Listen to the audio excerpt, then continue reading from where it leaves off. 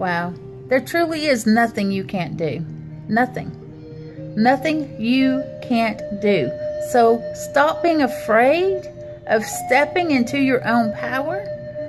Stop being afraid of trying something new.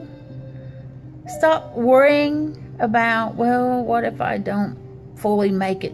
What if I don't fully get to where I want to be? What if I get it wrong? Well, so what? We learn lessons, right? And we get back up and we try it again. We try it again and again and again until we get it.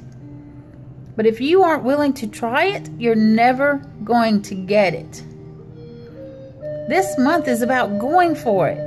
This month is about putting your fears to the side, stepping into your own power, believing in yourself, and taking the world by storm.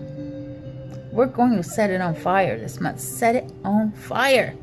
Because there is nothing, like I said, nothing we can't do. And this month is the month of achieving all of those things. We're going to show ourselves more than anyone else what we can do. So that's another part of today, of what's happening with you today and what's going on. And those feelings inside of you, when you feel that self doubt coming up, ask yourself, why am I doubting myself? What am I truly afraid of? I don't get everything right.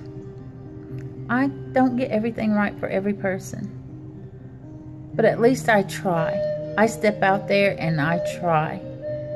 I'm going to fall down from from time to time. That's okay. Hey, I'm fluent in falling down. But I'm also fluent in getting my ass right back up. Trying it again.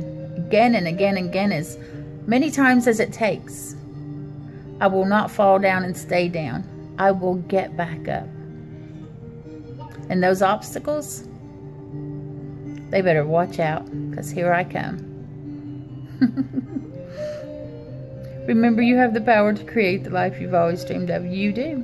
Get outside, touch the earth, cleanse your space, do your meditations, and remember that this Waya, the wolf, the raven, and spirit, we are sending you unconditional love.